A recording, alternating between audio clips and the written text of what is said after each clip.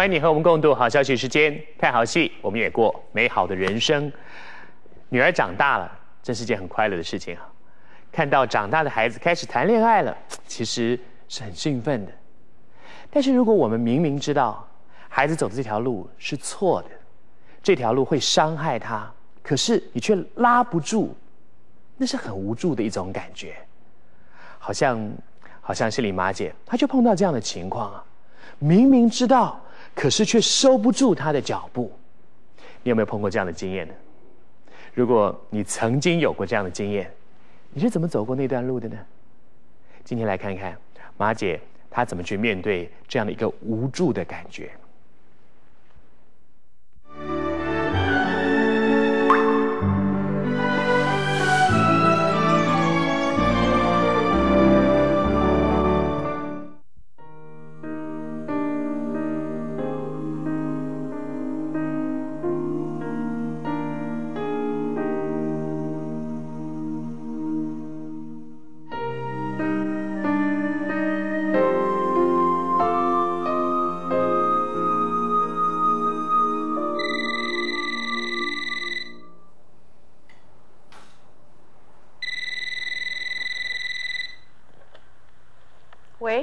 哪位？马若兰在不在？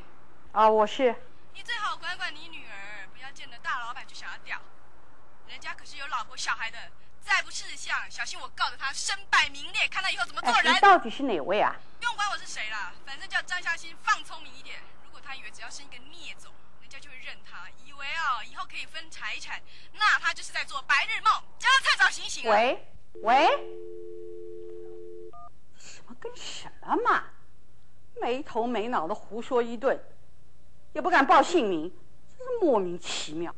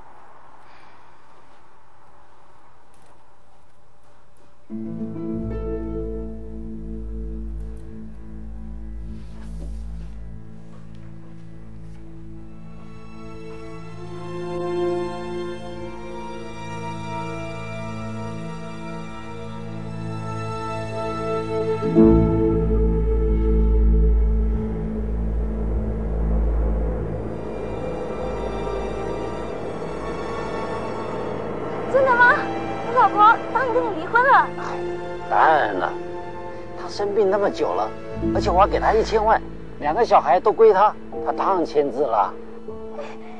那我们就可以结婚了？你真的没有骗我哎？哎呦，我怎么会骗你呢？我王某人说话从来都是当真的，而且啊，从来不打折扣的，而且说到做到。这下子啊，我妈咪就一定会相信你了。你妈妈以为我在跟你开玩笑，跟你玩一玩而已啊！哼，要玩女人，我可以到饭店去啊，花点小钱，而且还可以不负什么感情责任，多轻松啊！我知道你最爱我了。那是当然了，我还把你当成宝贝，捧在我的手心上呢。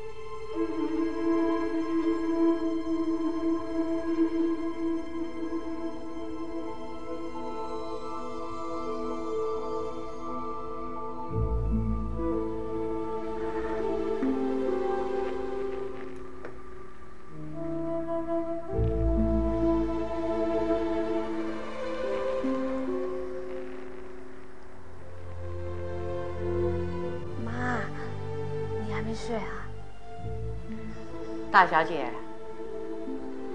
现在是半夜两点四十分，你一个女孩子，这么晚你能到哪去啊？你不回来，我睡得着吗？我我只是出去走一走啊。这么晚你到哪去了？你是跟那姓王的在一起吗？你老实告诉我，那姓王的对你下手了吗？张嘉欣，你要是不说实话的话，今天晚上你我两个都不要想睡觉。哎呦，没有啦，他没有对我怎样啊，人家可是很尊重我的。算你侥幸。我告诉你，这种老男人我看多了，没事专门骗你们这二十几岁的小女孩子，哄上了床啊，拍拍屁股就走人啦。妈，你又来了，你根本就是有偏见嘛！自从我爸背叛你，你就痛过全天下的男人，这样根本不公平啊！妈，我老实告诉你好了，我们就要结婚了。他跟我不是玩玩而已，人家可是真心真意对我的。结婚？哼，他不怕犯重婚罪啊？人家老婆答应离婚啦，他当然可以跟我名正言顺的上礼堂喽。嗯，离婚？你看过他的离婚证书吗？他的身份证上有改吗？他说的话你都相信啊？我，我提醒你啊，人家已经打电话到家里来，警告你离那个姓王的远一点，否则告你妨碍家庭。告我？谁要告我啊？谁要告你？他老婆啊？他老婆？怎么可能？他说他老婆得忧郁症好多年，什么事都不管的。他老婆要是有忧郁症呐、我就得了癌症了。他讲的话你都相信？说来说去，你就是不喜欢他嘛。哼，没关系，反正我已经超过二十岁了，我们可以去公证结婚。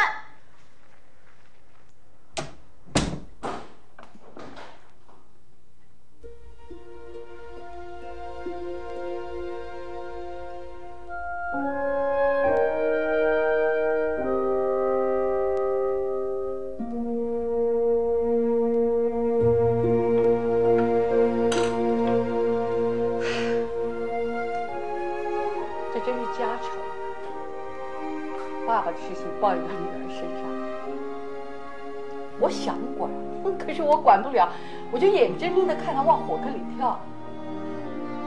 不会的，嘉欣这孩子从小没有心眼儿，这人太单纯了。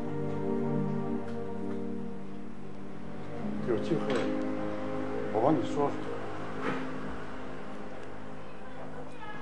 哎，谢谢你啊。谢什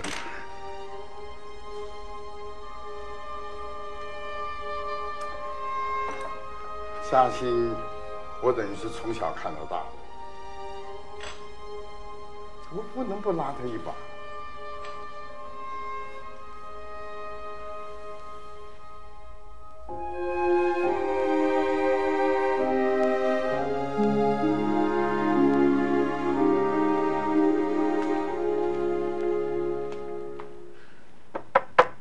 进来。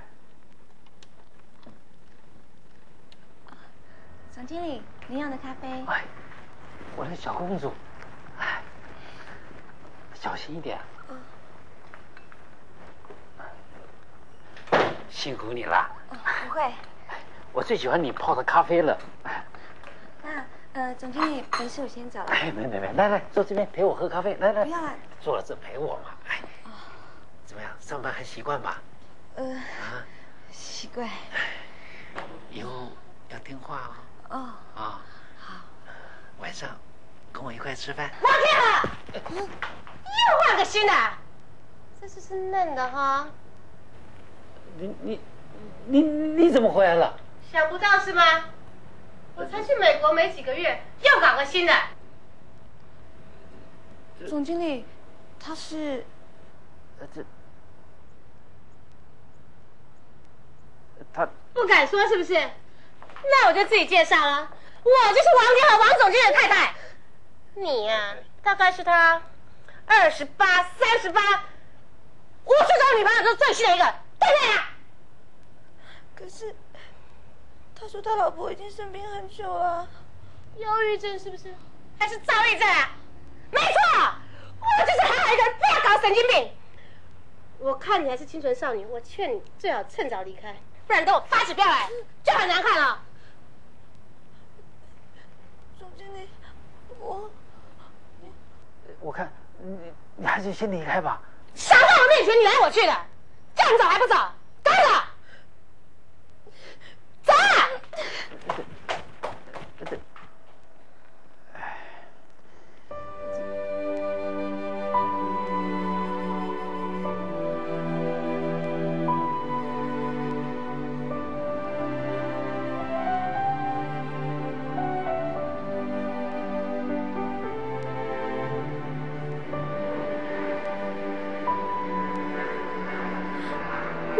变成这样？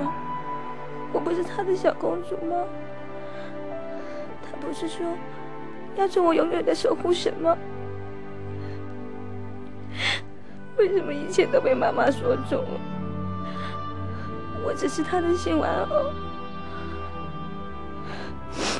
不，不是，我不是，我不是他的玩偶。我要当他的小公主。永远抱在手心的小公主。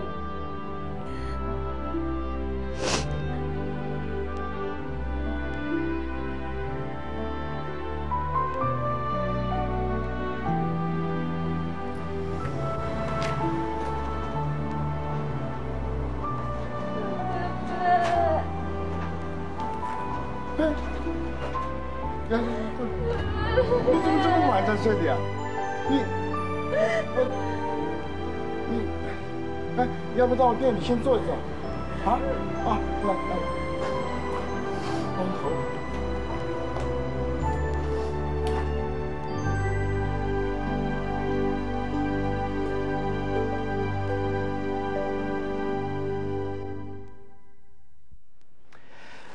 不知道你会不会觉得啊，其实像这样的情节真的是老掉牙的情节。一个刚刚进入社会、年轻的小女孩喜欢上了一个她的上司，然后年纪有一段距离，可是上司很温柔，一天到对她说“小公主，小公主，小公主”，然后，然后有一天突然发现他有老婆，突然突然发现说，呃，他的情况跟所说的都不一样，然后就很受伤、很难过。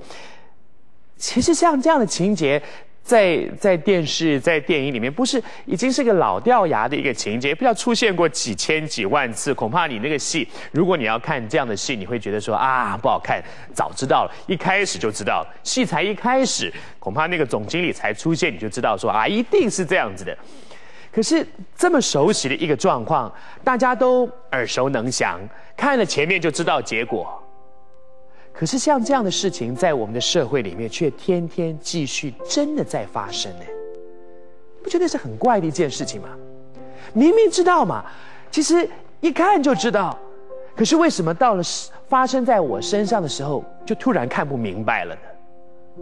我们中国人有一句话说“沾事则迷”，就是这件事情如果碰到我，碰到我自己的，沾上了，我碰自己碰到这样的事情，就突然迷了，就就看不清楚状况了。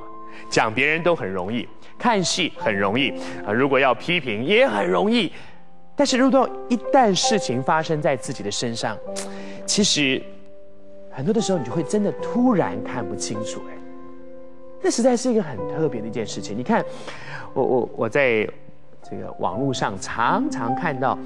又有人被骗了，又有人这个电话打电话来跟他讲说要退税啦，你你怎么样，然后被骗了，呃，什么你中了一个奖啦，被骗了，你像这样的事情，每一天在我们的社会里面发生非常非常多次，然后电视上也讲，新闻也讲，报上也讲，网络上也讲。每一天我大概都会收到一堆朋友 email 给我，告诉我说要小心，要小心，要小心，因为又有新的这个骗术方法出来了。其实所谓新的骗术方法，其实换汤不换药，都是一样的模式，可是每一天照样有非常多的人继续被骗。你不觉得我们的社会就是这样吗？其实我想，这不是社会的问题，这是人心的问题。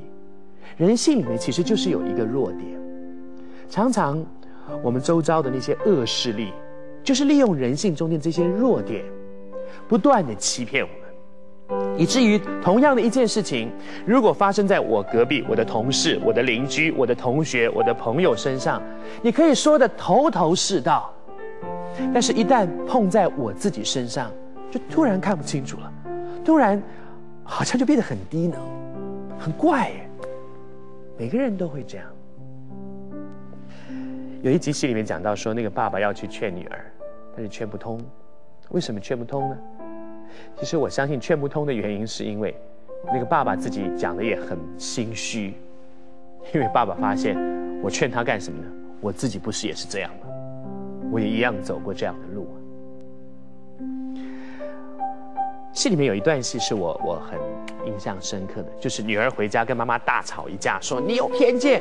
那个妈妈说，我这么大年纪了，这样的人我看多了，这样的事情我看多了。其实我想，不只是那个五十五岁的妈妈看多了，那个二十岁出头的女儿从电视上、电影上一样看多了。但是问题是，发生她身上的，她就说你有偏见，你你你根本就是不喜欢的。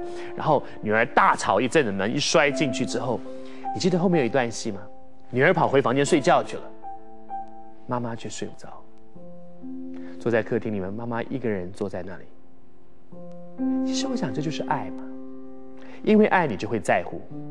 如果是隔壁邻居，如果是对接的一个什么人，如果发生这样的事情，你可能讲一讲，说一说，回家你就照样睡觉啊。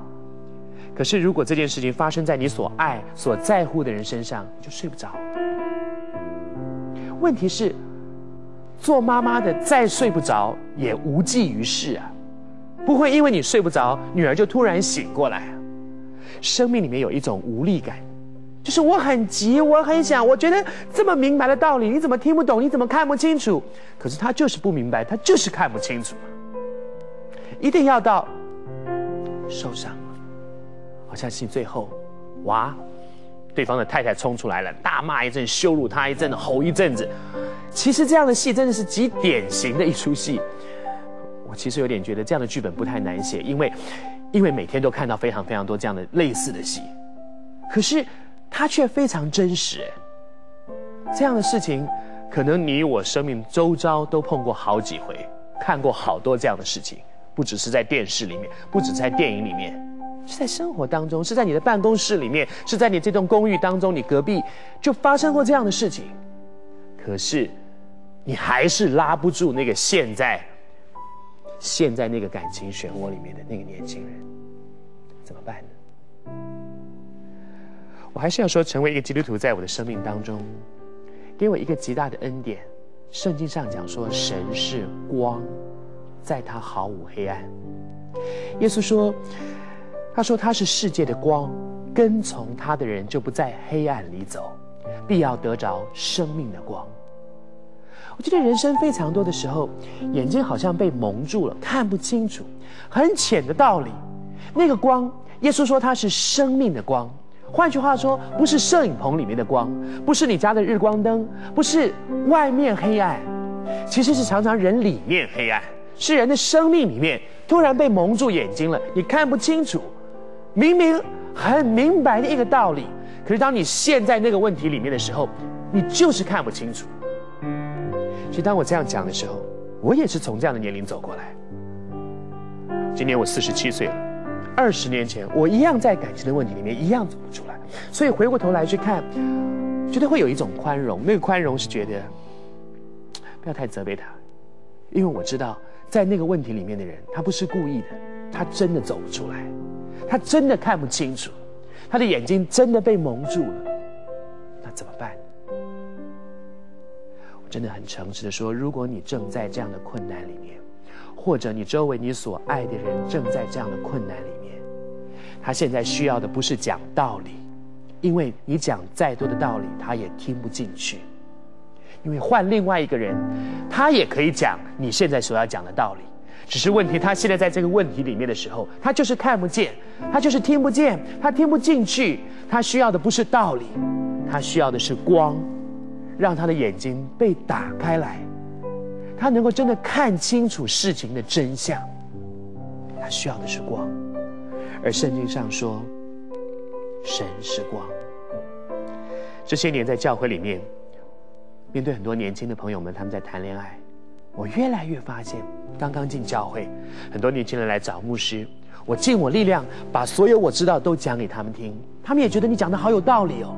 问题是走出我的办公室，他们继续在他的问题里面，他觉得你讲的很有道理，可是我做不到。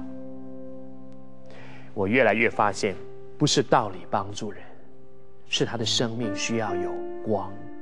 那个光让他的眼睛突然被打开，好像这个女儿最后，上帝借着一个环境打了他一鞭，让他突然看见说，原来事情的真相不像我想的。他的生命需要，你的生命是不是也需要光？成为一个基督徒，我真的觉得我享受最大的恩典是，生命里面有光，因为有光，很多黑暗的事情可以看得清楚。而且谢谢主，神不只是光，他是力量。很多的时候光看清楚不够，我知道，可是我就是出不来。我知道他骗我，可是我出不来。我陷在那个感情的漩涡里面，有没有这样的情况？太多了。神不但是光，神是力量，带人走出那个黑暗。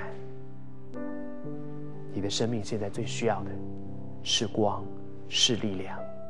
如果你正在这样的问题里面，你懂我说的，你现在需要不不是道理，你需要的是有人拉你一把，把你从那个黑暗当中拉出来。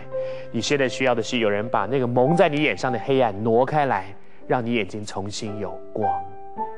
如果你的家人、你的朋友、你所爱的人在这样的问题里面，他需要光，我们一起祷告好不好？